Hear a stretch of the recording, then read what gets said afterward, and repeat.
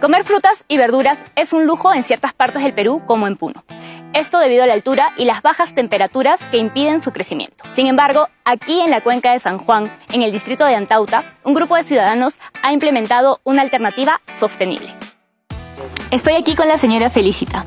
Estoy aquí con Delia y Grimaldo.